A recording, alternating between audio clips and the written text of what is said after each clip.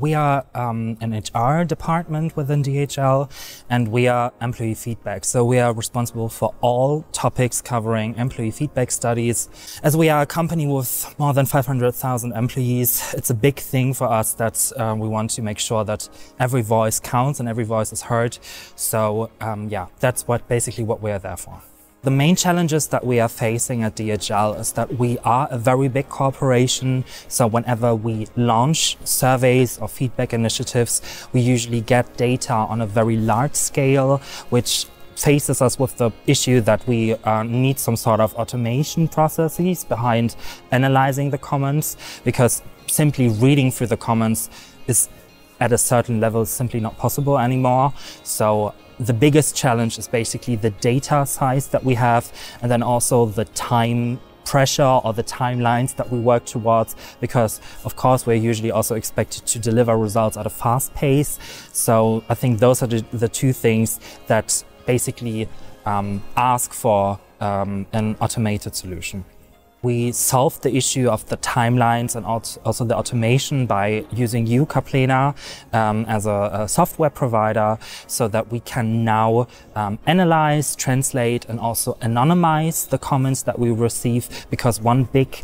um, priority for us is also ensuring anonymity of our employees. So we really want to make sure that all the feedback that we capture stays anonymous and we protect our employees. Um, but it is also very important to generate insights also for management that they can follow up on, right? So I think one of the biggest rules when it comes to employee feedback is if you ask for feedback, you also need to do something.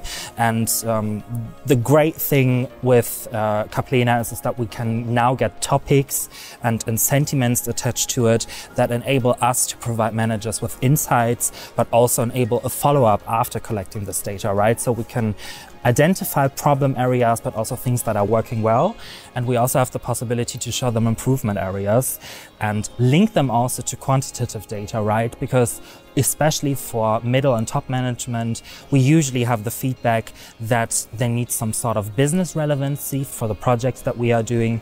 And we can now also link the rating scores that the employees have given with the text feedback that they have given so that we can make also the insights that we generate more, um, let's say, easily digestible for managers. First big benefit uh, that we get is that we have a very time efficient solution. So we can streamline all of our reporting processes from translation to anonymization, topic modeling, as well as sentiment analysis within one tool. The second improvement would be that um, we have the possibility to enable open comment feedback in a now broader scale as we did before due to the streamlining of all of those processes.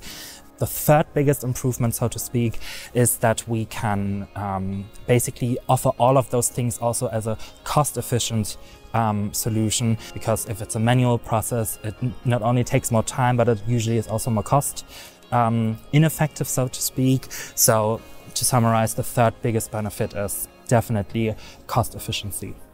Also for future implication when it comes to analyzing open comments, we are now looking into the possibility of implementing touchpoint monitoring. So we are looking at, for example, the possibility to look at how is onboarding perceived, how is um, recruiting perceived. So also there we um, have now the challenge that this is very fast feedback because we need to, of course, survey employees quite directly after those touch points have happened.